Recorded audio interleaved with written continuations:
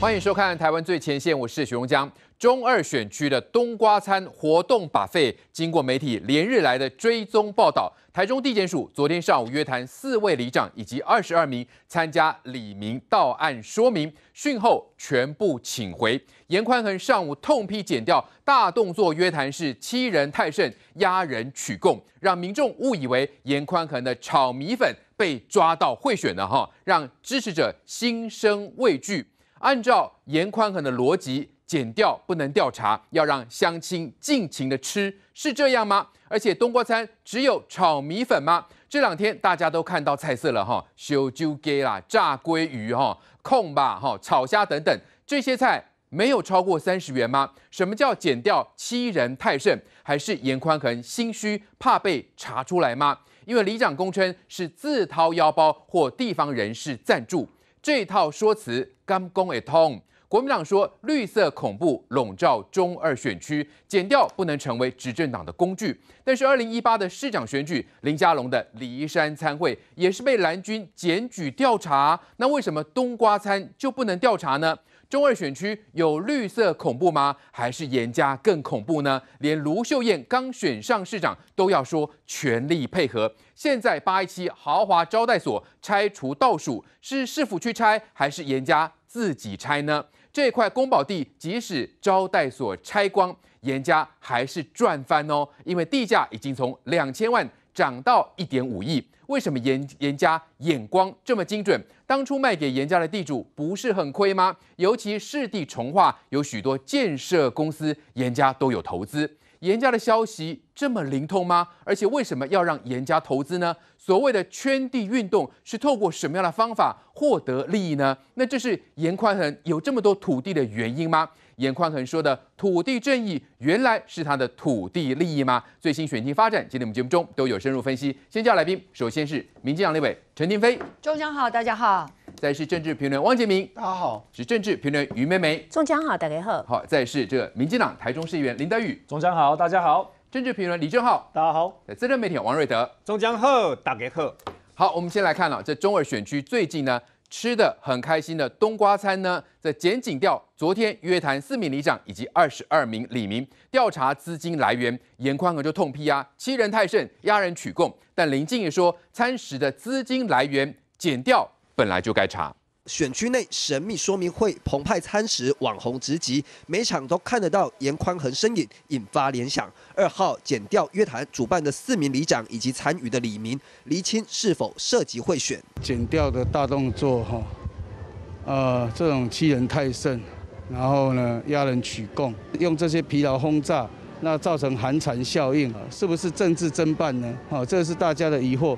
这种不对等的资源到底是来自于什么样的资金，以及这样子的资金为什么可以无限制的供应？我想是台中市的所有选民，还有其他地方的民众对于这件事情最大的关心。林静怡直指餐食资金到底哪来的？减掉确实有必要调查厘清，而严宽恒则替乡亲喊冤，公布监视器画面，帮里长们抱不平。那。我们对于这样子感觉到非常的心疼。炒米粉就是地方小吃，就是一个啊地方文化。这个地方的政治文化如果没有改变，会让多数的年轻人跟一般的市民觉得有非常严重的资源不对等的状况。好，我们看到中国选区的冬瓜餐会，哈，这个因为菜色太澎湃，引发外界呢高度的关注。那剪掉呢，终于是大阵仗的去查会，哈。那我们也看到这些菜色从这连日来有出现了一些变化哦。那严宽恒今天也罕见的哈，痛批检方哈欺人太甚，压人取供。先加瑞的哥，按照这个严宽恒的逻辑，难道这些菜色不该查吗？呃，我不知道为什么严宽恒可以凌驾到我们的检调单位之上。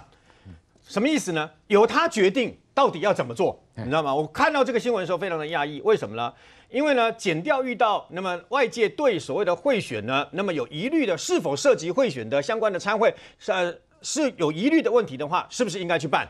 应该去办才对嘛？对，为什么呢？因为很简单，像这个啊，Thank you，这个呃陈柏维在被这罢免投票前三个礼拜的所谓赌盘，我们一直不解的是，台中市警察局为什么没有严厉去查查嘛？对，最后到最后一个礼拜，立法院人家咨询立法委员咨询了以后呢，中央打下来锤子定下来以后，他们才去查了几十个所谓的呃空中博弈网站呐、那么或者线上博弈网站呢，或者是这个六合彩主头呃充数嘛，我们就不懂啊，你为什么不好好去查？那么现在呢，去查是好事哇？为什么呢？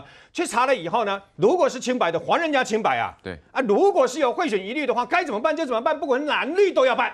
那我不懂的是，这个严宽恒为什么反弹这么大？对，那既然既然是人家邀请你了，既然是那个不是跟你没关系的钱去出钱的，那么既然是不设贿选，那该怎么办就怎么办嘛。约谈以后还不是请回四个里长，二二个这个等于李明，对还不是请回？讯后请回了嘛？没有错嘛，对请回他又不给他这个收押，也不是给他交保，也不是给他有这个强制作为嘛，都没有嘛。那么一定要了解清，一定要查清楚啊。他如果不查清楚，减掉才失职，是不是？对因为大家都怀疑嘛。那另外的部分就是说，擦屁混炒米粉当然没有问题呀、为什么？因为我们之前呢、相关中选会都已经有做过啊、如果只是单纯的炒米粉或者单纯的这个呃贡丸汤，这个 OK 的，对对这两样没问题这是 OK 的。在很多地方，中南部也好，还是很多的这个桃竹苗也好，这样的参这样的所谓的呃说明会啦，还是证件发表会啦，这样的配备是大家啊鸡腰积累啊，武当下他管对吧？假节小灯节 OK 嘛？对他也没有超过这个所谓三十元法定贿选的这个呃这个门槛嘛。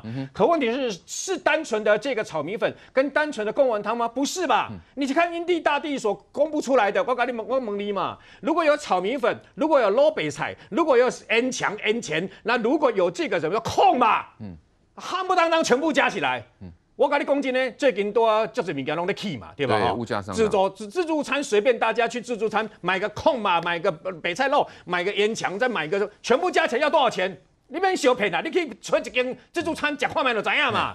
还要小骗吗？那问题就在这个地方。除此之外呢，到底这个金钱金流是怎么来的？对，哦，如果是啊、这个请大家大家都来哦，那么所有候选人都邀请了，大家都来，我没有意见了。对，那如果是邀请特定候选人，那当然就会起人疑窦嘛。还有就是，那么你特定人说啊，是他跟谁热心人是这样出的嘛？然后呢，呃，跟这个呃严家没关系，那你怕什么？嗯哼，那就该怎么就按就怎么办？对还是说支持你的人哦，就有法律豁免权，他们就拥有法律不能碰触。那严宽恒讲了一个说，可以用传唤通知书，不一定要人去，人。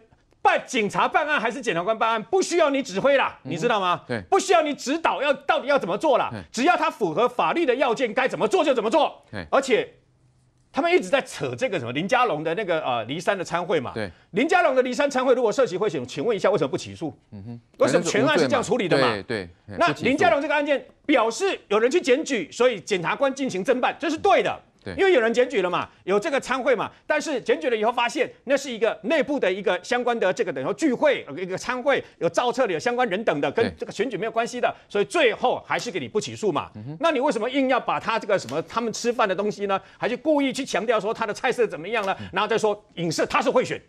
他如果是贿选，他为什么没起诉呢？那如果你认为当时不起诉是有问题的，那你再去检举嘛。对对不对？你用法律对法律，我跟你讲，目标是一样的。还有这种感恩参会，过去国民党没有办过吗？国民党单单在这个等于说桃园就办过两次嘛，对，两次也都是被检举嘛。两次被检举的时候，国民党也是同样的一个说法，是说啊，这个是感恩参会，对不对？啊，这是感恩嘛，啊，感恩参会啊，不是这个选举的场合，也不是召集哦，这个不特定的人故意来吃嘛。其中一次还蛮高层的嘞嗯，还蛮高层，最后判无罪。无罪的理由是什么？因为那个是跟自工有关系的，呃，环呃清洁自工有关系的嘛。然后呢，最后判无罪的理由是因为每年都办，对因为每年都办，然后没有特定的这个什么候选人的什么标志啊、宣传啊，还有无为博龙博嘛，所以后来判无罪嘛。啊，我问你啊，如果有人检举，你不去了解、不去侦办、不去传唤，那还还不去约谈，那你才有失职嘛。对我告诉你。你以为那么减掉单位办这样的案子，这样子去约谈这个，等于说呃假嘎叫澎湃，然后就就违法吗？就不能这样做就说？这个这这侦办有过分吗我？当然在气什么？告诉你，嘿过去办到什么程度？我告诉你，现在还客气嘞嘿。现在办贿选太客气了嘿。过去发生在桃园一起这个血淋淋的案件，哦，活生生赤裸裸的案件是什么？检察官办在选举期间的贿选案。那么检察官就近带了十几名啊被指这个贿选的这个相关人马，把他带到桃园的八德分局嘿，啊，就就警察局的场所要这个呃问笔录嘛。对，那检察官觉得很奇怪，那怎么楼上闹哄哄的是干什么？你知道吗？楼上就很热闹嘛，哈，闹哄哄的。检察官就好奇，他是把人带进来哦，要办贿选哦，就好奇上去以后，哇！你要画动算，你要画动算，欧式自助餐，欧式自助餐。哦，那有一个县议员的候选人，然后呢，警察局那个分局长也在，然后啊，分局长在巴德分局嘛，对不对？那巴德分局是他的嘛，然后呢，紧接而来，包括这个等于说呃，这个志呃下面台下的职工拿着画动算，检检察官认为这太离谱了，对，检察官当场就把四位职工的干部当场做笔录。哦。最后还约，最后还约谈这个巴德分局长跟四个派出所所长，要查有没有相关的这个等于说呃利用警察单位的礼堂来进行这个参会，那有没有涉及贿选？那大家都喊冤呐，为什么？虽然大家都喊冤，就是。我们都在这个地方举行一个啊，这个自工的参会嘛，但是都没有提到任何选举有关。是要结束的时候，到门口大家要结束，突然间有人起哄化解了动算，因为里面有个候选人呐，就化解动算了。你看。做笔录，然后把分局长，呃大大概是台湾第一起追检察官追查贿选案，把人带到警察局当场查获啊，当场办啊，分局长跟那个四帮帮传唤四个分这个派出所，当然这件事情后来就就没事了，啊，查清楚就 OK 了。但问题就在这个地方嘛，那表示以前的检察官、检调单位在办相关敏感案件，人家动作是这么大啊，我问你嘛。那如果这个检察官的办的案的这个动作这么大，那么迅速，那么及时，对不对？如果这次出现在海线二区的话，我的天哪！按照严宽恒的标准，那这个检察官就十恶不赦啦，就不可以这样做。不是的，如果有就查清楚，一个都不要放过。金流是什么来的？为什么有人愿意自己出钱来帮呃帮你招待这么多的东西嘛？那如果没有的话，就是单纯的擦逼混，单纯的这个所谓的共产党。你看。这个英地大地的那个相关新闻出去以后有没有差？有啊，最近菜色就变朴素啦，对，对不对？那我问你啊，就是有差嘛。所以呢，既然有差，那我问你为什么有差？因为就是怕被人家来认为说跟贿选有关系嘛。所以检察官。该怎么办就怎么办，公事公办，检检察官不办才是真的，不是的完全的渎职啊！对，所以我们说这个冬瓜山既然受到外界的关注啊，那是不是有疑似贿选？所以检调就来调查清楚，这不是很好吗？那严宽和现在是在生气什么呢？哦，他说什么？哦，这个到民众家人逮人啊，欺人太甚啊，压人取供啊，根本是绿能我不能呐！哈，这无疑是政治侦办，是这样吗？如果有疑虑，把它调查进去，不是很好吗？来，德宇兄，这个四位里长还有二。十二名参加的李明哈遭到约谈，好像这有你选区的。那他们说啥？是这个呃，这个什么自掏腰包哦，有热心人士哦，这个捐助，真的是这样子吗？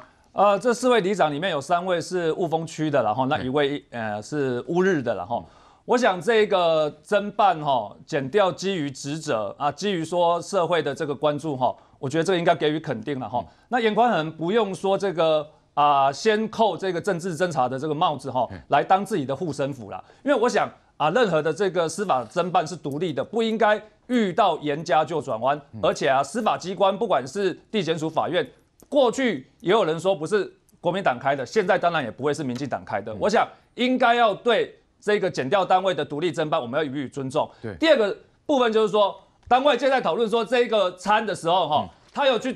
提到说，到底它的价金是多少？对，但价金多少哈，我觉得是一回事。就如同严宽恒他自己讲的，在民国一百年的时候，法务部有提出一个贿选的一个案例了哈。其实他有明确讲说，如果是选举造势活动，选举造势活动得以提供简单的饮料，或是这个便当，或是面食等产品。但是这一次他们操作的方式，除了在价金上他们的这个菜色哈有比较澎湃之外了哈，已经超乎了。这个炒米粉、米米汤哈，或是这个本汤，这个这个界限嘛，炸鲑鱼，对，但是价金都超过三十啦。除了价金超过之后，因为价金它的呃，如果说照法务部的案案例是说，合宜的这一个便当或是这个餐点应该是 OK 的，然后不完全是以三十为界限。是，但是他现在这一个哈，他其实他他也卡到了他自己讲的哦，他的这一个范例里面有提有提到说，贿选案例里面。如果假借联谊或相关事由来提供这个餐饮，呃，免费的这个餐饮，哈，这个也有贿选的嫌疑。所以说我为什么要特别说这一次他们会被质疑的是，如果你今天这一些参会，你全部都是用，譬如说严宽恒后援会、严宽恒总部来办，你就大大大的哈。光明正大的来跟我们的乡亲说啊，今天我的外选举场的活动我来参加，但是他不是，哦，可以大方承认说，哦，这个后我后援会帮帮忙办的，是这样是 OK 的，对。但是因为那就回到我们一般的选举造势活动嘛哎，但是他这一次令人质疑的是，第一个他是这个神秘参会啦，嗯。他是透过这个啊小小群主，透过这个地方人士去里长。call，然后严宽恒他如果说在这个呃侦查之前，他是说什么？他说这个跟我无关啊，这是地方人士的热心邀约，所以说参会在前，他在后。那到底这个参会的这个啊金流，到底是谁支付这个金流？而且是譬如说，如果说需要一场一万块的这一个餐费，那有没有可能用更大的金额去赞助他？那这个部分就会去影响到我们所讲的，因为过去我们也曾经有听到说哈，有一些在这个比较呃传统的这个地方哈，他会用走路工或者用工作费，比如说我就请你啊来这边哈，帮我站了两个小时的路口，那其实这样呢一次呢一次就是一个下午，但是他就给你一千块，就是那一个他付出的这个工作时间跟他的这一个成本不一。嘿，那这种就会有让人家觉得说这种走路工或是工作费疑疑似有这一个呃贿选的嫌疑。等于那现在就是里长的身份到底适不适合帮特定的候选人说，哎，我帮你自掏腰包，帮你办活动，然后请你来这个致辞，可以吗？里长的角色可以吗？不是因为他是公职吧？如哎、如果是这样的话，他应该要自己要讲清楚。他们现在就是说，我觉得检察官来把这一次的这一些金流，最重要的是，比如说这个调查局也有问他、啊，你到底是哎、你有没有有没有借贷关系，还是谁给你的？是你自己掏腰包的吗？对我觉得这是很重点，呃，很重点的一重点一个部分了哈。那是不是通常都讲说自掏腰包，这样就可以成为断点吗？对啊，就跟候选人没关系啊吗？。而且哈，其实我觉得哈，他说的寒蝉效应是他在打预防针啊。其实哈，这一个动作，昨天下午啊，中检的动作下去之后哈，也有一些啊地方人士也在松一口气哦哦，因为他们其实是可以拿这个来跟严家说，拒绝说，哎呀妈呀啦。直接给我们盯上啊！吼，卖过用这类红线，因为用这个方式其实对他们也很为难、啊哦这样子哦哦对，其实他讲寒蝉效应，其实他自己打预防针，因为他可以想得到说他后续可能这一些啊这样操作模式，地方的里长可以拒绝他了，公啊，也不一定是里长啦，哎。就是说地方的一些头人啊，嗯或者是说跟他过去在他们的这一个啊利益结构里面，有些人他不见得要那么出风头啦哦，有些人他不想太出风头。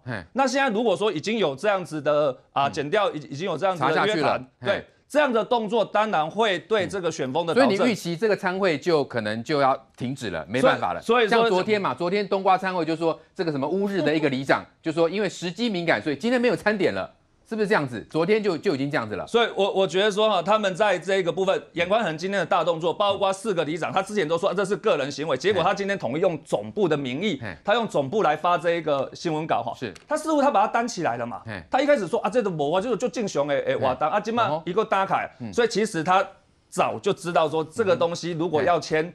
后面的那个部分可能会牵扯到他，所以减掉这样的一个侦办动作，对于后续严宽恒是不是会造成影响呢？那严宽恒也罕见的炮轰减掉啊，来正浩，这是代表哪？严宽恒心虚了吗？觉得减掉这样查下去，有可能会查到什么东西吗？没有啦，我我下下面人帮我办餐会，现在被抓，我大哥要有态度嘛，对不对？这哎大哥要有基本的嘛，态度的那不闻不问，这样以后怎么带人？这最基本的嘛，哦对不对哎？所以严宽现在讲这刚好而已嘛。可是我我现在要跟大家讲几件事情。第一件事情，这者还真不容易定罪，哦因为你要定罪要确定几件事情。当然了，我们看包含比如说，其实坦白说，我看也是离谱啦，什么炸水饺、虾卷。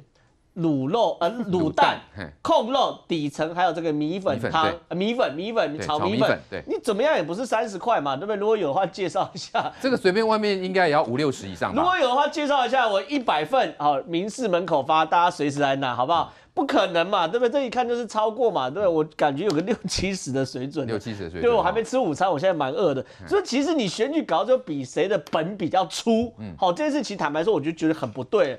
但是问题是有有一件事要跟大家谈啊，第一件事真的不容易定罪，为什么？第一个你要证明哦，这钱是严家钱给下去的，而他们在散的时候都是很有经验的，搞不好在好几个月前就先散完，就说一罢免一完然后钱就先散下去了，这在罢免前钱就已经先散。就已经下去了，当然，哦而且是一定是现金，没有在转账啊，不可能账号密码让你查不到资料就第一。个金流一定不好查，所以说第一个钱就不好查。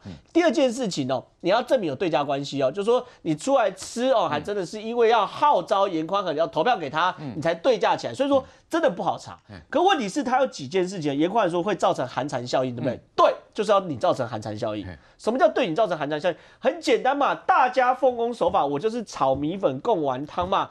得宜的餐点不是说搞成这样很得宜，好，这叫得体，好，这不是得宜的餐点，得宜的餐点了不起，弄个面包，好，对不对？面包的我们常常有没有？就去游览车有个面包，然后放摆摆个饮料，那叫得宜，这已经到得体的水准了。更何况还可以那种像把费一样一直捞一直捞，不是很多人还带带走吗？对外带，这已经是一人投票全家宝的概念嘛，对不对？所以这已经远超过界限。所以这件事情一减掉之后不容易定罪，可减掉要不好态度。当然要有态度，否则你还践踏司法。至少剪掉要去查，对吧？你不能都没动作，否则你在践踏司法嘛。你当剪掉是塑胶做的嘛？那第三件事情就是要造成寒蝉效应。你看，马上就有说，抱歉，乌。那个嘛，乌日光什么里的里长嘛，不就说，哎，现在已经是这个敏感时期，没有餐点，没有餐点不委屈。大部分的人办都是没有餐点的，我选举也都没有餐点，了不起摆矿泉水，然后送你一张面纸或口罩，这正常的。不要好像觉得说人家变委屈了，这只是让这个地方选风。回归正常他们以前吃的很习惯，吃习惯了。现在没有啊，拍谁？没餐点要拍谁？对，正常选举有餐点是，哎，是非常非常澎湃的。正常是个面子的，没餐点才是正常的，不需要拍谁。你在台北是多的是了不起，给你一瓶矿泉水，对不对？连卤肉饭都没有。好，重点来了，我觉得这个地地方因为减掉介入，让它回归正常化选举，对，端正选风，我觉得这比什么都重要。因为我觉得林继，我不是说要挺他，可我们至少要支持一个候选人。在一个公平的环境选举吧，这是最这这最基本的。你非得要在公平的环境去选举，大家才能选择最合宜的候选人出来。我觉得这是所有法律制定最基本的嘛。我们今天不是要挺林静怡，我们只是希望说这边的选风回归正常化，对，然后端正选风，就那么简单。那严宽更没有道理这么生气啦。哦，怎么压人取供？哦，还说这个剪掉怎么样？这侦办动这动作他不满意。我讲他要帮小弟出气嘛，大家赶紧挺堵，你要给他出气，这样子。对，所以这是以他一定要这样讲。所以这番话让让在他的乡亲面前我 keep it。当然要嘛，否则你之后都要剪掉这个明年下届选举的时候剪掉收了，你还是要再办呐，对不对？所以你要挺他，搞不好最后律师费严严家都帮他出掉，所以这一定要挺。但我不管这些，所以说我已经觉得中二选举的选举哦，根本不是什么严宽恒跟林静怡的比较。我坦白说，我觉得连比都不用比。但我觉得。这个选中国选举的选举是选举风气跟政治文化的选择。你如果要这样的选举风气，你每次选举都吃饱饱的话，你就选严宽恒。但是你要记住哦，你的民脂民膏会被他刮走。哦嗯哼，你家未来的公园地可能永远变他的招待所。嗯你要买块土地可能永远买不到，因为他在那边弄了个机林地哦。是。公家的钱可能会被他用来去标这个所谓一零五号码头，这叫做因小会失大哦。对，然后呢，在立法院执行，他可能会为自己家族的事业去做执行哦。是，他的土地上面可能会盖电动玩乐、电动游乐场哦。你家小孩可能会去那边打电动哦，可能会交到坏朋友哦。这东西是一种选举风气跟政治文化选项嘛？是，所以我觉得很清楚事情是，如果我们越揭发越多，其实我们以原本以为这是叫狗吠火车，我们怎么骂都没有用，有用。我们监督到现在，确实，我我相信，对，剪掉去查了，而且未来他们绝对不敢大辣辣的嘛。从这个网红因地大利一开始呢，所谓的呃 餐厅级的修猪给啦哈，炸鲑鱼哈，控吧等等，到后来变成只有北菜肉、扣吧跟贡丸汤，到最后呢。呃，很抱歉哈，今天没有餐点，所以呢是知所收敛吗？停飞污染，你算计嘛？叫干干？怎么看这样的一个菜色，对你们来说，哎，是很澎湃级的吗？是不是有贿选嫌疑呢？那还包括李长说，哎，自掏腰包，是是不是碰到这种状况都这么讲嘞？呃，我必须说哈，最近大家在讨论这个议题，有点把它混淆掉。其实大家不是在讲叉 B 混北赛。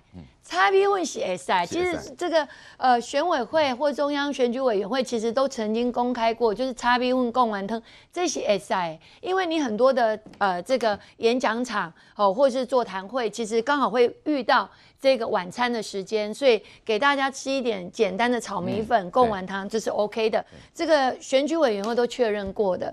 可是今天为什么严宽恒你会被挑出来特别讲？因为你这个不是。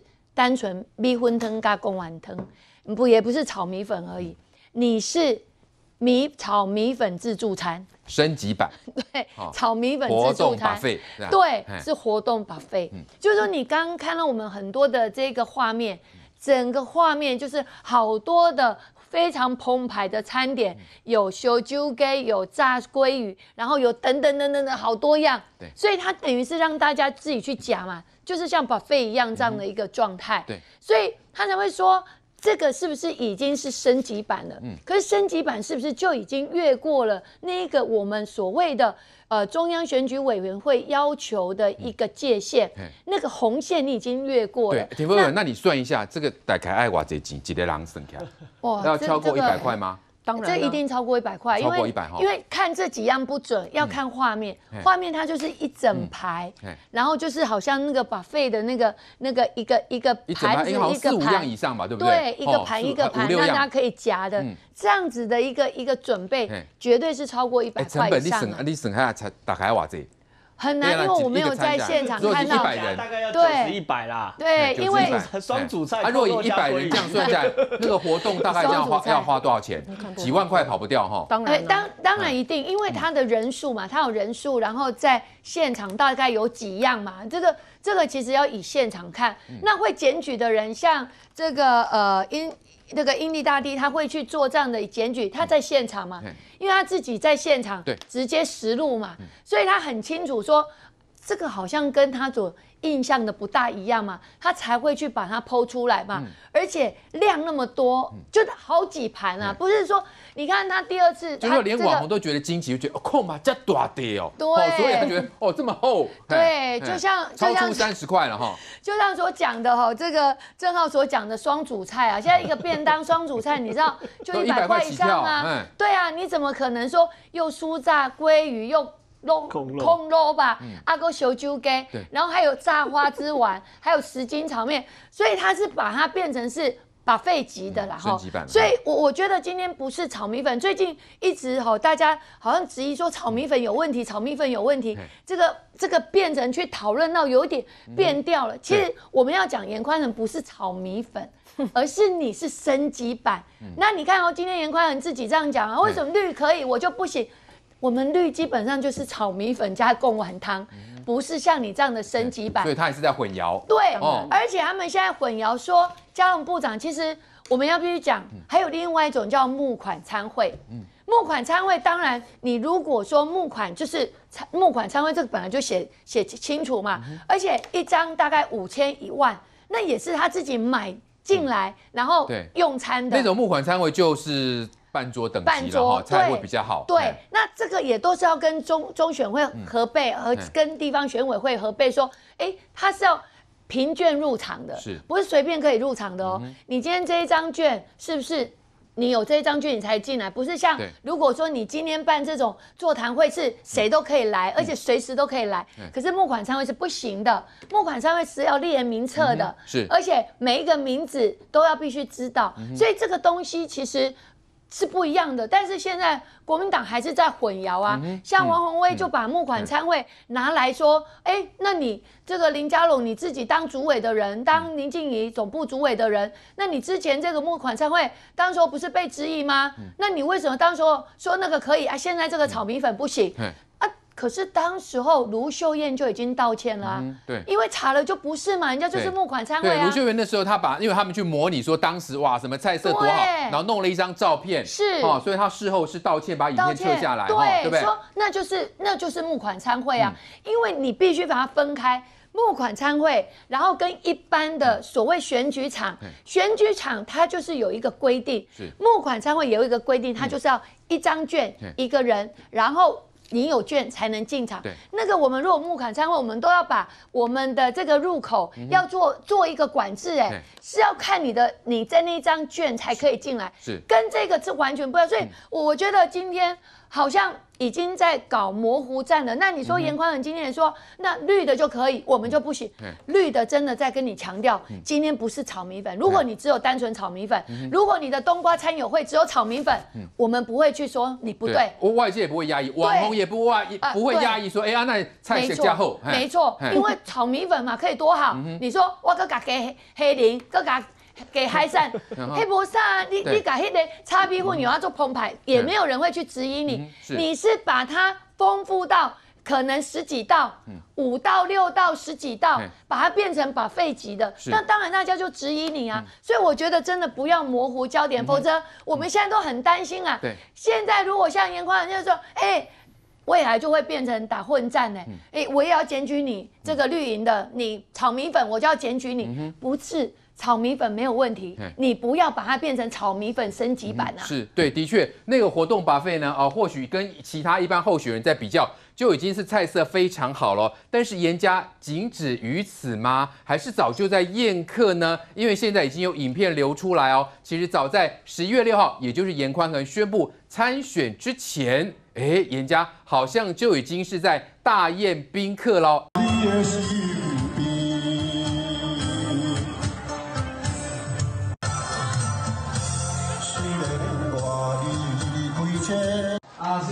谢谢啊，直接嘛退阮爸吼，啊飘啊吼，啊阮阿公啊吼，啊怀啊吼，啊退阮妈妈吼，米贵啊，啊退阮侄啊吼，阮二侄啊通啊，啊退阮妹妹啊丽丽啊吼，伊等下嘛会来，啊直接甲大家请安问好，哦啊感谢一路的支持甲坦诚，啊宽容到啊即、个较含慢吼，啊选举无顺利吼，啊煞选无掉吼。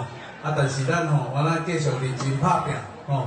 啊，剩剩一诶，到一月九号吼，剩两个月，两个月尔啦吼。现在今仔几号啦吼？今仔七号、六六号吼，拄啊剩六十三天啦吼，剩下两个月吼。啊，这个立委的补选吼，啊，宽宏一定我咱认真拍拼吼，一步一脚印吼啊，会当继续。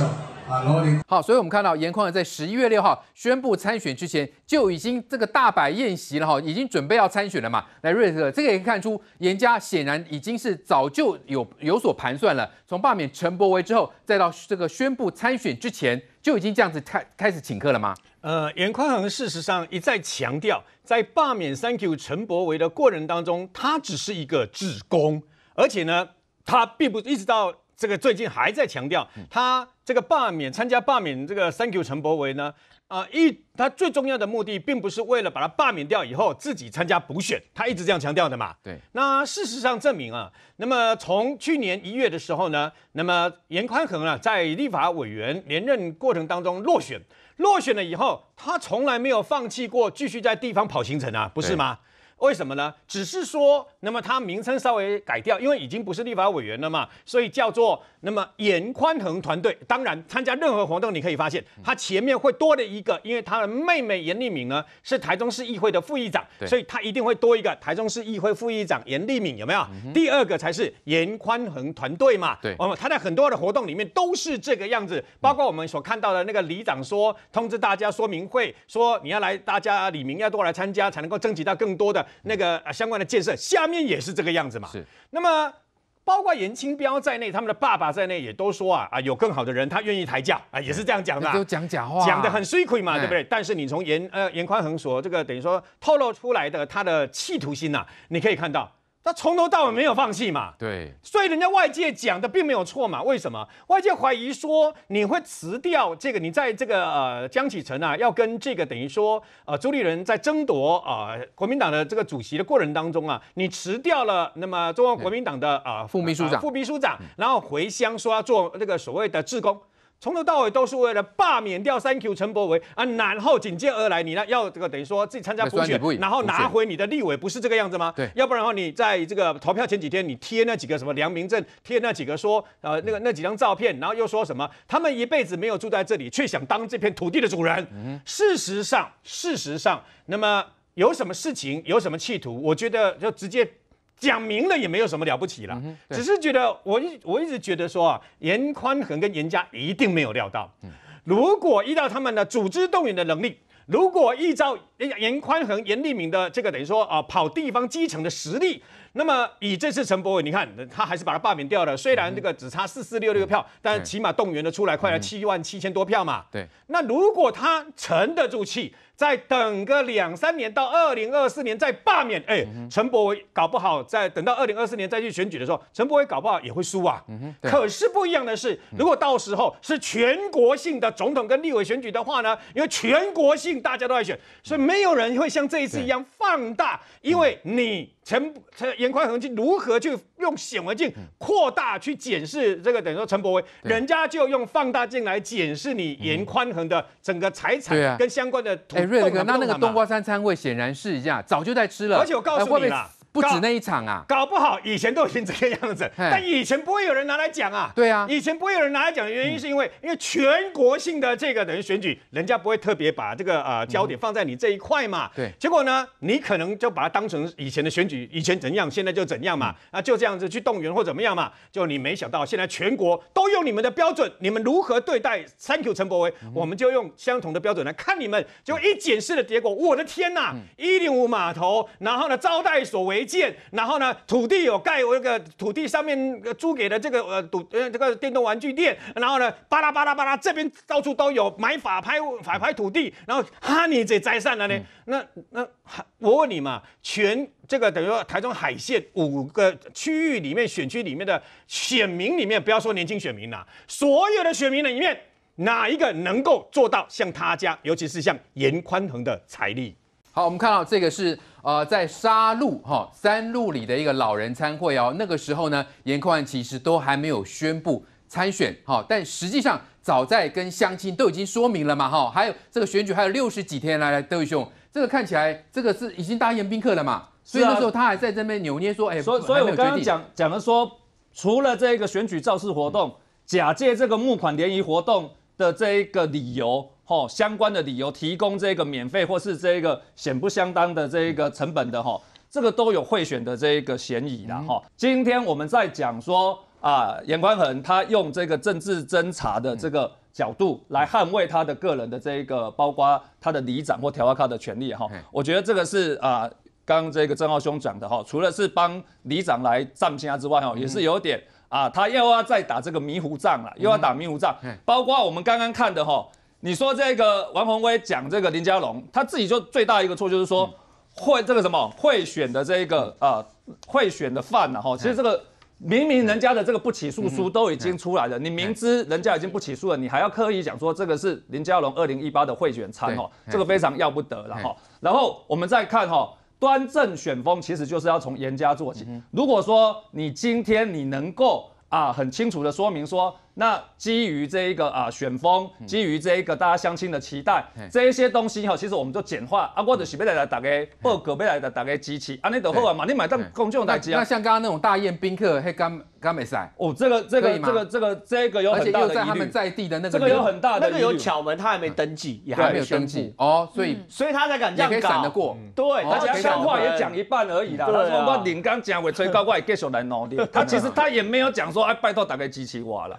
对啊。所以说有时候很难去定哈。哦，他那时候还不是他们招很多啦招数很多啊。那显然这种饭是不是已经长久以来都是这样在吃了？这种这种是搭棚子的哈，这个还有有的是在餐厅里面的，餐厅里面。餐厅里面的这个有时候大概十桌二十桌哈，就真的这个就是他们十桌二十桌这么多，他们抠人啊，他们会抠，哦他们会透过各种系统啊。哦，有时候是社区，有的是公庙。那平常如果说公庙社区在这个时间点有活动，那我们还觉得很正常啊，就是新民生还是公回完带回来啊，大概本来就是会员，哎，本来就是社区的活动，那他这个就比较不会有太大的问题。但是现在就是。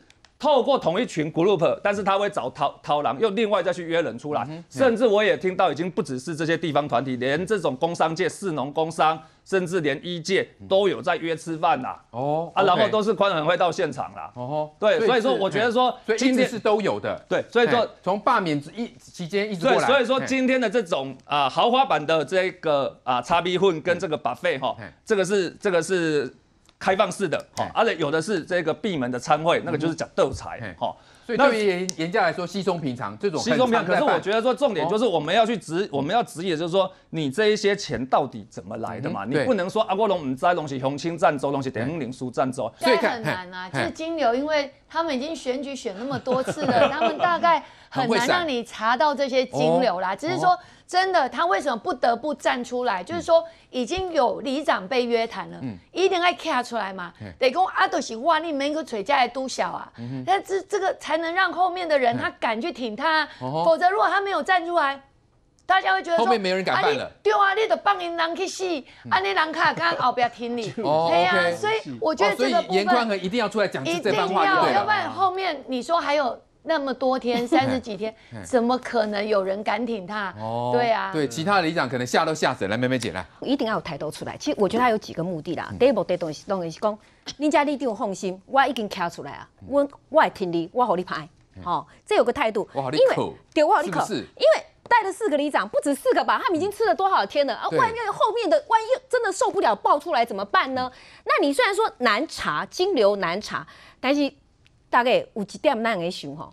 中破，中破赛，伊讲我等每间换一周，无，应该是会，可能是固定一周啊两周。你也可以从中破在那边查嘛，对不对？这里面怎么那么巧？那到底怎么来的？可能一层一层真的要用心去查，是有可能突破的。所以他一定要出来先听你嘛，这第一点。第二个呢，他其实在打心理战是什么？因为那我就刮破西的老西多，对吧？你看本来你讲下，你讲。杂菜炒米粉，用去食寒天食烧酒鸡，对无？讲去食这空马肉吧，吼。那么还有鲑鱼尾，哇好诶！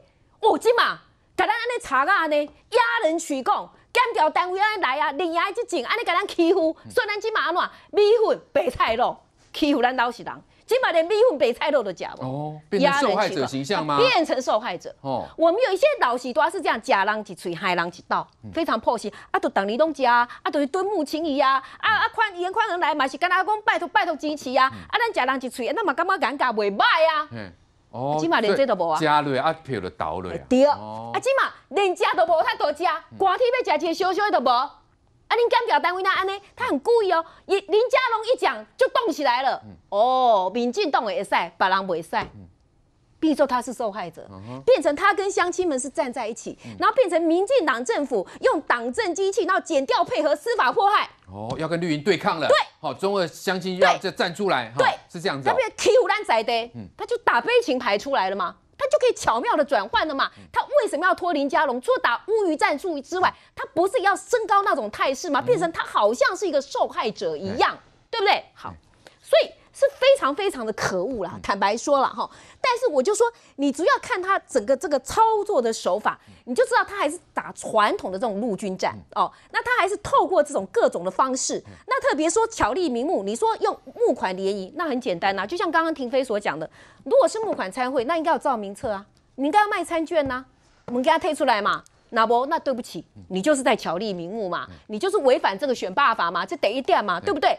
第二点，我们要问哦，你说假进，如果说是社区办的联谊活动，那很简单，那不是只有严宽恒可以上台，林静怡可不可以上台？嗯，也应该可以嘛。对。可是请问之前有多少个活动，我们看到，特别是在他所在老地盘，严宽恒可以进去杀戮区公所去握手吧，去拜托吧。对。林静怡可以吗？不可以。你是候选人，或者有一些活动，严宽恒可以进去，为什么？因为他背心只写着严宽恒。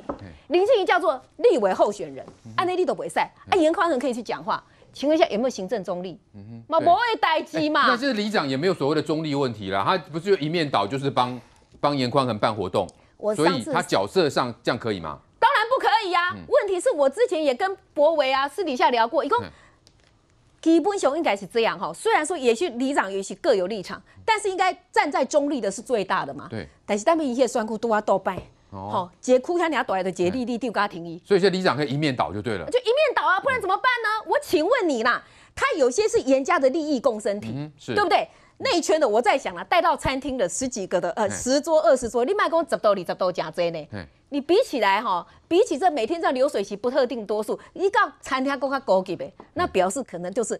地方上无头无面的，还是地界领袖，还是条啊开这种的，就比较内圈的，高高级的宽台，对不对？那比比较这种一般的，一般相亲都是假露天的但是我跟你讲哦，第一，你相亲你来假面土，大家嘛嘛干嘛赞啊？又联谊啊，对不？第二，你如果是餐厅那一种，他如果照了名册或特地邀请你来，你无去的话，你是看人家不起吗？你你如果跟他合作的话，你可能可以利益共生。你如果不去的话，你会不会可以用点名做记号？对，对不对？摩 k 会害怕。哎，摩 k 也会害怕嘛。里长是不是一样的道理？你俩可以合作的为哦，人家严家有地方的副议长，对不对？然后这个爸爸呢是正南宫的董事长。哦，如果他这样又当立委了，还有中央的力量，会等于到中央那给你进出建设啊。对。啊，你哪无配合的为你的建设都摆后边啊？不是吗？你可能吃不掉好康诶。三不五时来给你问候一下，你受得了吗？是，所以为什么他要盘根错节到这样，他在地方，他只要是经营的越久，霸占的越久，他的势力就越大，软的硬的一起来，对不对？敬酒，你跟我合作就敬酒。你不跟我合作，你可能就是罚酒。那谁敢怎么样呢？所以为什么你可以看得到，几乎是一面倒？又或者陈柏维他当了立委，离谱，他都到现场，居然还有里长不是说没看到他的人吗？对，哦，他已经人在现场，说他从来都不到吗？不都是如此吗？所以在这边剪掉，当然要下去查呀，查你们有没有这样巧立名目啊？可是我就说，只要剪掉一查，你放心。他一定这种话会讲个不停，他会在地方上不断的散布而已，对不对？你在境地配海，好，那即使按那个假节修修，那节假节擦屁股现在都袂晒，绿营就可以，他不会去跟你说，不会去跟你区分说，那跟他假屁粉假贡丸通，你写安怎假都不会，好，可是他会激起那种在地同仇敌忾的感情。那我们有些老乡亲，他也许不看政论节目，一都是跟他。比如讲亲戚朋友吼，还是讲听电影里头咧讲啥讲啥，感觉诶诶真实的呢，诶本来拢好好呢，啊是要减掉安尼，尤其是冷天吼，透早都甲咱带去问话。对不对？他讲的也很过分。什么叫压人取供？有压人取供吗？如果减掉单位敢不法的话，你严家去提告嘛？你可以告渎职嘛？你敢吗？可是他用这种耸动性的语言，他就可以巧妙的明明明明你们在巧立名目，明明你很可能是违反规范，可是变成你是一个受害者，变成你是一个政治国家机器打压之下的受害者，然后追催化同情票，在这种口语散布出去，这就是你看他的整个的操作技巧。那至于就是说。嘉龙这个讲讲王宏威讲的刚刚好而已，要提告刚刚好而已啊。那件事情其实据我了解，不只是募款参会，他们其实也有一些后援会自己的干部让自己出钱呢。你你比下面的公拿起回算，他们没有面对这种不特定的人，对不？那是自己出钱，自己辛苦啊，自己安尼假结本，或者是募款参会。那每一件有人检举，他们是一个一个去调查，也都是签结了，韩文也都发出去了。对，你还在这边混淆视听，然后你看他每次都。都把林佳龙抓下来，对，为什么？因为林佳龙是林静怡的竞选总部主委，对，又混淆视听，又显示好像是举全国之力，民进党这个全部的政党的力量来对付他一个，然后利用我们台湾人相亲憨厚质朴的感情，那来把自己让自己翻身。所以你只要看到他这种作为，你就觉得说。这个政治人物，如果说新的政治不从这边开始的话，你中二选区要这样继续下去吗？选民想一想，严宽可的策略是塑造成自己是一个受害者嘛？来，建明哥，那现在呢？国民党说中二选区有绿色恐怖了，是这样子吗？还是呢？严家在这个地区更恐怖嘞？呃，严家有没有在这个地区恐怖？我想中二选区的选民应该比我更清楚。不过我可以确认一件事情，啊，这就是你罢免陈柏维的原的的结果啊。如果你没有罢免陈柏维，下一次的选举就是说二零二四年的选举，你要怎么去办这些参业，可能没有理你，因为全台湾都在选嘛。对，所以大家当然已经放大检视，就是这么单一选举。选举我不知道严宽仁是不是知道哦，圈在全台湾都在看你选举，所以你还可以这么嚣张的让。见我说嚣张，子说怎么还有那么多里长敢去办这样的活动，甚至连台北的网红都注意到了，那这边有很好吃的。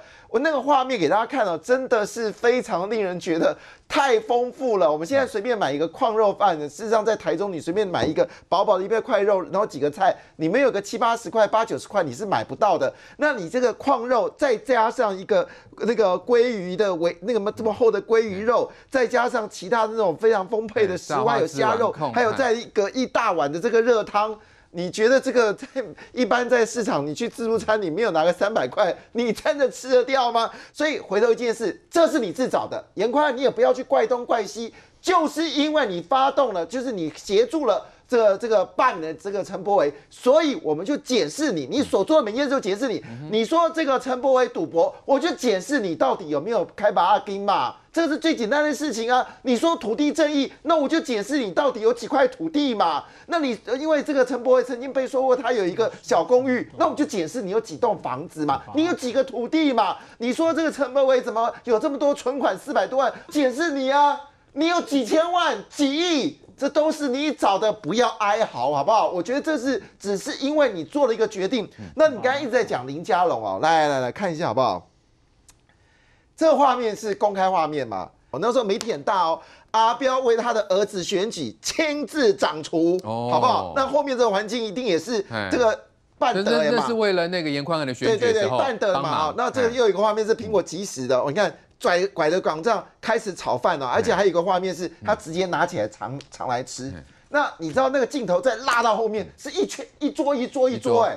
哎，所以看起来这是他们的传统，是不是？对嘛，他们的传统嘛。但是那一桌呢，基本上为什么没事呢？因为那边都是竞选干部，所以大家吃，然后接严宽恒就出来说啊，打打给行扣啊，好，那是竞选干部。哎，林佳龙状况也是这个样子啊。如果你按照这方式的话，哇，这个画面都有哎，是不是？这个早就已经在二零一五就逮你了。好，我还是一句话。二零一五没有人在乎他的原因，是因为当时选举每个地方都在乎。严清标说一句话啦，选举一时的假崩熊掉腰啦。啊，我一句话，选举一时，所以里长你要清楚哦。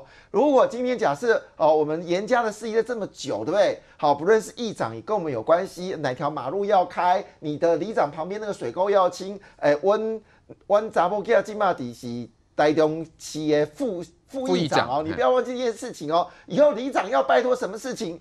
这个我们有人曾经跟我说啊，议员的权力不比立法员低哦，因为议员可以直接要求台这个各县市政府推出预算。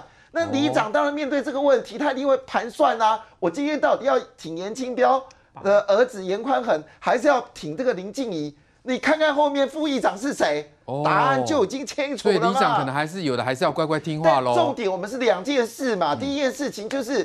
这个李明是怎么被邀的？嗯，这个是关键点哦。李明有没有被说到几件事情来讲崩啊？我们今今麦来支持。对他们这个李明是有造册的吗？对，第二件事就是有没有造册，所以剪掉有没有冲进去里长？我上次就讲这个事情，冲去里长里面去看有没有造册。李宇珍就直接在他脸书上面就说一句话：有没有造册啊？哎，造册又邀请，而且对方接到的也知道吃这顿饭是要去支持这个严宽恒，那。怪不得，哎，对，那这所以杰明哥减掉减掉进入里长，这个有过分吗？要进去可能要了解一些。已经有人举报啊，哎，我我我请问一下，举报有人举报贿选，难道检察官不去查查不能去里长那办公室吗？已经林佳龙都已经举报这个地方有疑似贿选，啊，请问疑似贿选你不要去调，你也可以啊。如果今天林静怡有疑似贿选，你也可以去告检调啊，叫检调去查，就发现林静怡都没有参会。对不对？我们是讲白了，今天有人举报，检检调干不做吗？减掉不去做，那叫渎职，是不是？现在媒体都看出来，减掉没做，那叫渎职。所以我觉得，今天你严宽文本身也是立法委员呐，你妹妹也是副议长，你爸爸嘛是一进是议定啊嘛是过后立法委员，立的怎样？法律应该怎么走？卖底下这个五四三呐，但是不要忘记喽，之前在台中是有两个里长。就是因为办这种参会，好厉害哦！不要忘记哦，有趣的事情是里长有事，候选人没事。嗯，所以这个整整的状况来看，当然其他里长也会想一句话：，哇哟，我这样讲啦，被检察官拿去侦讯了，我没有一个人会不紧张的啦。检察官带人一站，你有没有贿选？哦，里长，对。所以对里长来说，现在可能是他刚莫雷修喽，要紧张喽，不能够太这个肆无忌惮。我的一个月薪水就是五万多，四五万块。对，四五万块。那我要做里长，我要做很久。你跟我说，检察官说你有没有贿选？你的名单，刚刚那个李明跟我说，是你打电话给他的哦，说这顿饭是要吃这个支持严宽衡的哦，有没有？你有没有讲这句话？来，那个电话记录一打出来，你你叫里长怎么说？来，交出你你的这个通通这个电话号码，直接查你的童年记录，发现到哎，你怎么在这个参会之前一直有密集的连接这个呃严宽衡的这个办事处呢？所以真要查不会查不到，你你你怎么回答？嗯，你告诉我怎么里长敢讲假话吗？搞不好赖都还来不及删，上面搞不好赖上面还有那个，哎，你那个几点几时啊？我们什么人要过去啊之类的事情，你你怎么做？所以所以整个过程当中，如果剪掉真的要做的话，那其他里长怎么办？还有那个已经断过的还没去查的怎么办？嗯。哎，紧张啊！那你你说好，你说这个讲句话，很多的这个呃相亲就会说一句话，说啊，那今年没有得吃。我这么说一句话啦，相亲之所以会吃，是因为被你抠出来的。真的没有得吃，他们也不会出来，就这么简单。所以这个选战到这个情况之下，就告诉严宽恒一件事情啦：你怎么对待陈柏伟的？现在我们就检视你同样的方式，对你以前哪一顿选举？不大餐不吃饭，为什么这个每个里长那一顿饭，你加这些猪肉，现在猪肉价格贵到一个可以。好，这个妈妈都知道，婆妈去菜菜市场随便买个菜，一千块就喷掉了。那边的那么多东西啊，我想检察官心里也会明白啦。来说清楚，这里面总共花多少钱？你委托谁来买的？哪一个这个那个炒菜的，哇，这真的查下去的话，严宽那几句话只是哦让自己暗夜走路啦，让自己心安。他其实也不知道到底检察官拿到多少什么资料，为什么？因为他们以前习惯就这么做，所以他们认为这次做也没有问题，所以他们会不会有百密一疏呢？我们等着瞧。好，政坛的最新发展就是陈柏惟被罢免之后，那接着还会有罢免案通过吗？哦，那现在罢免林长佐的联署二阶段似乎呢已经这个会过关了哈。那这个钟小平在这个补件之后最新的情况，我们要连线五党籍立委林长佐跟大家说明哦。来 f r e d d y 现在了解的最新情况哦，这个罢场案的这个啊最新情况是怎么样？是中江好，大家好。呃，其实我们从一开始就是把他认定他们一定不会善罢甘休啦，所以之前我也在中江的节目有说，我们的目标就是以到投票阶段来守住中正万华。是。那以这一个整个规划都是这样来布局，所以呃，现在他们这个，而且他们补件，听说他们的整个错假率最后跟二阶整个加起来一样是高达三成的错假率，也就是一样是死人啊、假人啊等等，还是。一大堆，嗯，所以，但是这个就是我们看从去年到现在这么多的罢免案，他们就是一样的方法不断的操作，那一定再怎么样也要补件把它补到过，所以对我们来讲就是全呃一样，我们就是全力迎战，正面迎战。那呃呃，但当然啦哈，我们现在其实呃也有很多既定的工作，我们也不能被这个影响，就如同说，其实我们今天刚闭幕的这个。包括波罗的海三国等等，欧洲跟美洲的国家来台湾一起参与开放国会、深化民主的论坛。那今天下午我也代表立法院跟他们签署了一个这个联合声明。那昨天呃深夜的时候，其实我也参加美国拜登总统他举办的这个世纪论坛呃民主论坛呃民主峰会。那呃以亚洲唯一的代表的身份来参与这一个国会议员的场次。所以其实现在真的是台湾在。国际上面非常重要关键的时刻，那我在外交国防委员会有很多既定的工作会议，都不能因为这个报复性罢免而这个松懈。那另外，当然我们自己的这个选区中正万华，其实有很多的振兴案、振兴的活动都这个已经这个陆续的一直都登场，所以这个也是我们现在最重要的几个工作项目。那对于你们的工作会不会呃，你要做一些调整？哦，毕竟是不是因为这样的一个情况，可能对于整个包括呃后续这个有公投，甚至是这个一月九号的这个中二的选举哦，蓝绿之间的这个呃这个情势的消长，是不是都会有受影响嘞？呃，其实因为我本来就是把它当成一定是会走到投票的阶段，所以我本来就没有，呃，我本来就在整体的工作上面规划上面一定不能受到它的影响，所以我们一定要把每一件事情都做好，包括刚刚仲江讲的公投，十二月十八马上就要到了。所以我已经都已经规划了非常多场，从呃北到南有很多场的这个公投说明会都要去参加宣讲，希望可以创造更多的对话，尤其是针对年轻人的部分，我们在校园有很多的宣讲。所以我刚刚讲的这一些，呃不会受到影响，但是当然就是比较累。像我昨天很多会议我都要开到三更半夜岳阳的会议，然后早上一早起来还是马上就要到立法院来工作。所以我想一直到一月份，呃中正万华的相亲当然会比。呃，就跟中二选区一样啦，会比全台湾的乡亲再辛苦一点。呃，公投之后还要再累了几个礼拜。但是这个毕竟是国民党搞的，我们也是被迫应应嘛。包括公投，包括罢免，然后中二现在会有这个补选。其实都是国民党他们搞出来的，所以我们虽然都很希望可以全心全意的在国际上面为台湾把握这个最重要的国际契机，那保障这个台湾人在国际上面的权益以外，中正万华的振兴工作，大家经济复苏都很重要。可是有人在那边乱。我们真的也不能说就不理他，不理他的结果就是台湾的未来就会葬送他在他们手上。对，我们不是没有经历过那几次公投被他们搞得乱七八糟，或是罢免他们乱搞了以后，优秀的立法委员就下这个被他们拉下来。所以每一关都很辛苦，但是我们没有一关会松懈。嗯哼。对 f r e d d y 你怎么看那样那样一种联动的效应了哈？从公投，从这个中二选区，还包括这个呃你的这个中正万华选区的这个罢免案，因为这个都是连串的哈。因为假设如果之后哦真的是这个我们说我们的政治的局势会一直到明年的这个二零二二的县市长选举。对，我觉得真的是希望呃过年前大家把这样子的乱台湾的这一种状况把它出清了，就是全力公投守住。哦，四个不同意。然后台中的中二选区当然让林静怡能够赢得胜选，然后中正万华我们也守住，在过年前把这一些乱象都出清，而且我们不只要守住，我们还要，呃，我希望能够展现一个非常好的选举的一个成绩结果。那就至少我们到了明年年底的这个地方选举之前，中间我们可以有一个稳定的过程，要不然我相信如果大家还这个掉以轻心，没有都出来投票的话，他这个罢免一定一直搞下去了。对国民党来讲，对这些有心人士来讲，他们就是一直呃最好台湾一直乱嘛。那最好台湾有一直不断重复的这种又罢免又补选又罢免又补选，没有办法让社会安定下来，让从来让台湾没办法停止。这一种恶性的循环，然后一直接到明年的选举，是，所以我要拜托大家，就是如果你觉得台湾真的是真的是被乱的很辛苦了，那我觉得就是在过年前把公投、补选、罢免这一些关卡全力的都守住，然后我相信整体我们在这个本土跟进步价值的这一个呃这个能量上面，我们至少可以有一个稳定的蓄积，然后也可以展现给国民党看，说你在这样子乱是得不到台湾人。的支持，甚至于得不到国际社会的尊敬。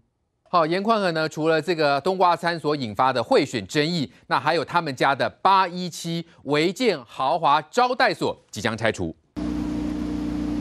另一头，严家南屯八一七宫保地豪墅违建，前一天工人拉出封锁线，喷上红色拆字，是否已准备好自拆？在积极联络公班当中。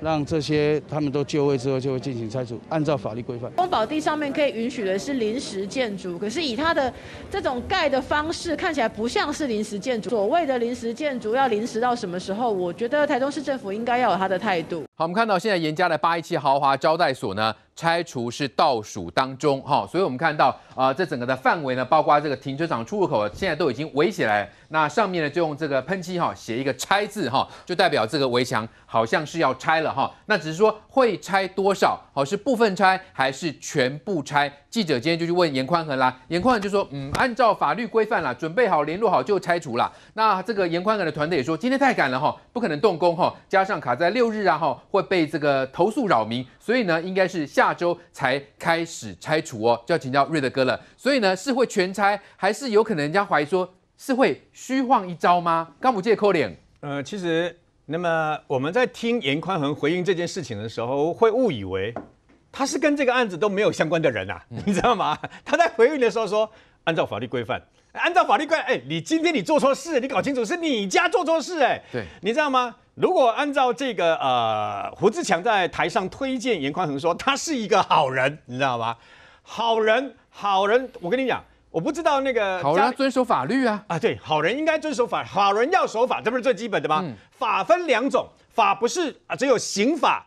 民法还有包括我们的行政法，什么意思呢？你用爱规规矩矩来做人嘛，应该是这个样子嘛。对，所以你们家为什么会？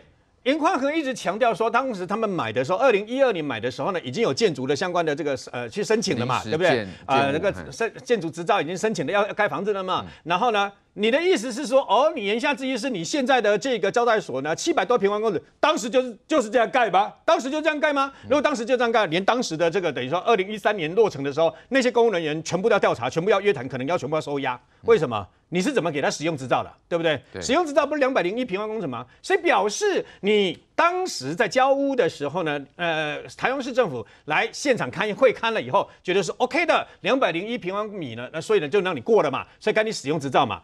啊，完了以后呢，这五百呃，这总共加起来七百多平方公尺，所以呢，这五百多平方公尺前后主建物，好，还有另外一个建物啊，那还有包括围墙啦这些哈，还甚至于还侵占到这个室友地啊，这些是什么时候盖的？是谁盖的？请问你在盖的时候，你是不是立法委员？这栋建筑物除盖好的跟个相关的延续的过程当中，你不仅严宽恒是立法委员，你妹妹还当选市议员，还当了台中市议会的副议长。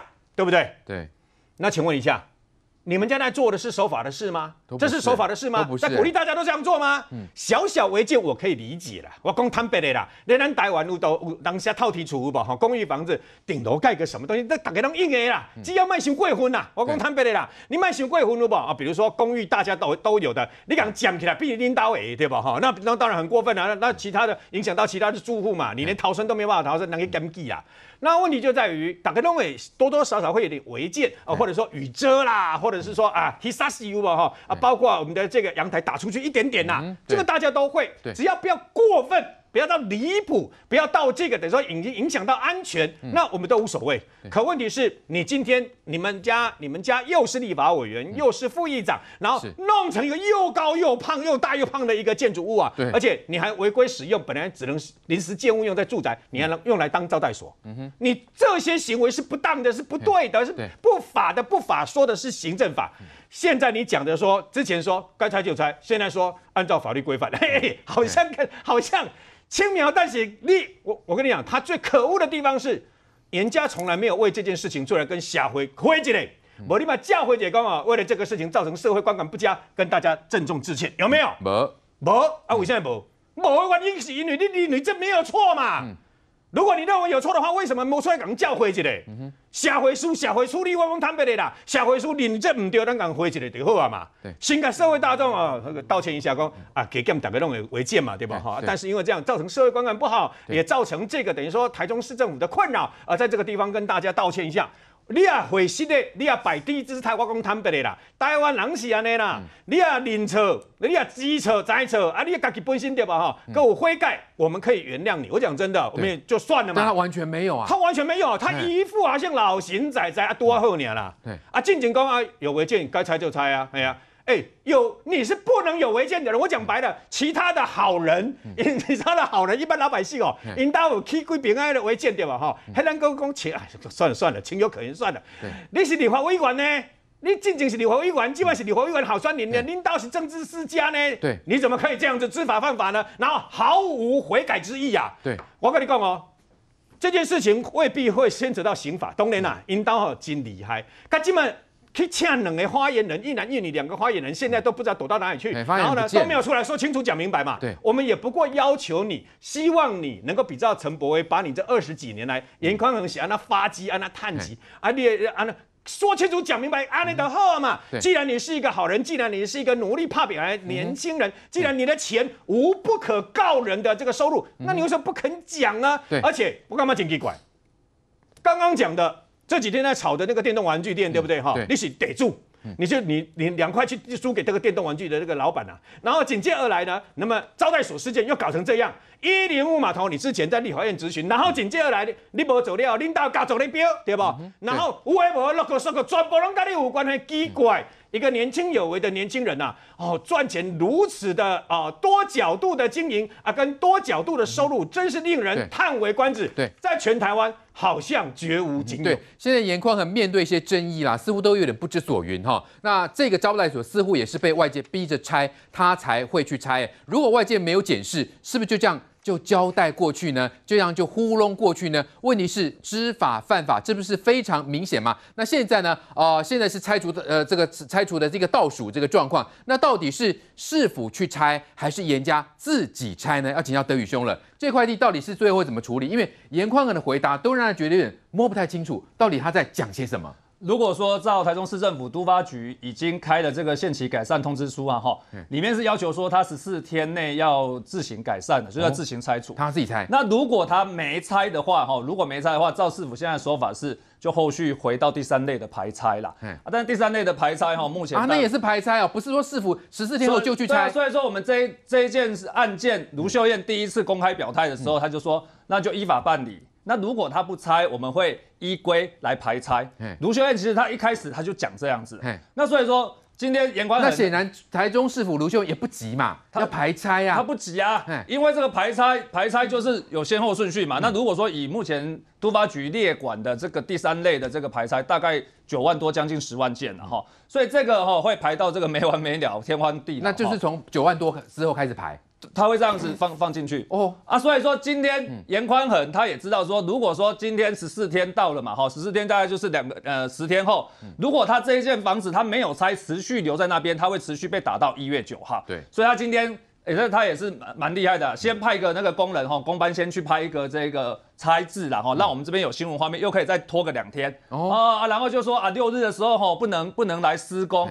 啊，其实我也不太懂为什么拖到下礼拜。不是我，我不太懂说为什么六日不好施工啊？明明就是在你家的这个围墙里面啊，看是里面围那个违章的是哪一些，就该拆就拆嘛。这我觉得这应该不是太大的问题。他们是会慢慢拆，是不是？我觉得今天看起来有点东西，好像呃可以，就有些可能还可以利用，避免破坏。对，慢慢拆。而且里面现在有一个最重要的关键，就是说现在那一个都发局认定的这个违建啊，是指他当初。啊，发给他的这个建史照的两百零一平方米，他增加了三倍增的这个五百平方米，所以严宽恒先他现在认知是说，那你市政府，你告诉我啊，哪边是违建，你清楚的、明确的那个范围跟我讲，我会把那个我来改善，我来拆。但是现在还有一个争议哦，到底这样子的临时建物，它的这一个适法性跟适用性，是指一般等同于这一个啊公保地的这一个临时建物，可以等到说。啊，政府机关征收，然后继续让它使用，还是要去回到说我们一般的临时建物，包括这些可能预售屋，这个最多展延只能展延到七年，不是有个七年吗？对啊，所以说时间也到啦。对，所以说我觉得说市政府在这个部分其实还讲得不清不楚。那严宽恒好像就是要打迷糊战啊！你现在你现在开给我的那个啊改善通知书就是这个五百平方米，那我就把这个拆一拆。那其实拆这个动作做完之后还会有争议啦。那市府的解释看起来是怎么样？有利于是会有利于严家喽？呃，市府现在就说就五百。而已啊，他拆掉这五百平方公尺，它还有它有六十平左右的，就是它原本原始的。对它市府，他现在大概还还是认为说，他现在就是继续留有那个两百零一的这个平方米。但是这一件事情，市府认为那可以留哦。他他的任他现在的主张是那个法条适用不一样，所以说我觉得这个已经跟他争议，呃，已经有提出质疑一个礼拜，包括林静怡医师也有提啊。我们其实我们司议员也跟他提，但是是这个部分，我想我们还会再继续追究了哈。那另外一个就是说，其实这一件案子还要回到。为什么当初的那个上限哈上限是两百两百平方公尺？可是他核给他两百零一，哎，其实为什么两百两百就两百呀？为什么要两百零一？为什么多？那当时又很又又很取巧，那个很巧门哦。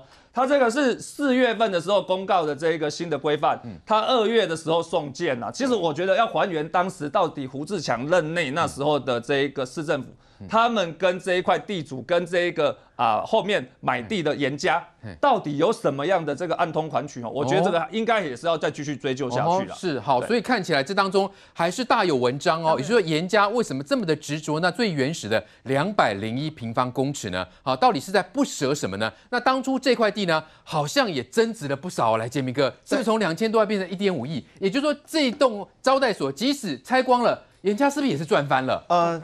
惊人的财富哈，那我们先看一下地理位置啊。其实这个地方呢是非常接近到四期，所以你可以看到周围大概都已经有一定的容积率跟建蔽都出来了。所以附近的地坪的价格呢，有人说已经到了六十万，我是觉得有点贵了哈。大概差不多四十万应该就是差不多了。那以它这块土地的面积呢，大概差不多有这个两千平方米的话呢，有人估计了，现在市价呢大概在在六对呃在六百六百多平六百六百多平哈。那现在估计的市价呢，大概在一亿四千万。到一亿五千万，那现在你所有的这个土地的征收都必须按照市价，可他当时买进的价格大概在两千万左右。对，所以当初为什么可以这么便宜？好，这是好问题。好，那我们找地理位置给大家看一下。其实呢，这块这这个区块啊，包括当时的公约用地呢，呃，不，公园用地呢，其实这块地呢都延宕了一段很长的时间。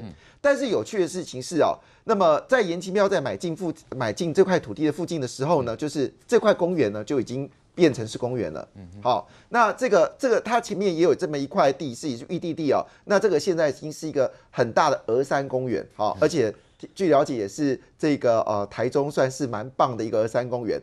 那很有趣的事情啊，这个是儿童呃儿童游乐区的专用用地嘛，已经被征收了，是。它也是儿童专用用地呢，它没被被征收，才距离 才。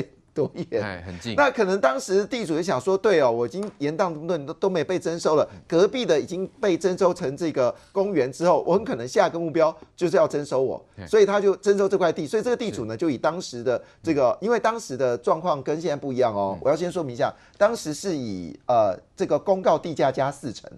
现在是市价。那我们知道公告地价跟市价差距大概是一比九，嗯就是市场价格大概是九块钱的话呢，那公告定价就一块钱，差太多，差很多。那哎一块钱加四成，嗯 等等当初那个地主会不会亏大啦？对，所以当初地主如果不要卖的话，我现在不就是增值一点五亿了？有律师是哎提供建议说，当时是怎么跟他跟他谈的。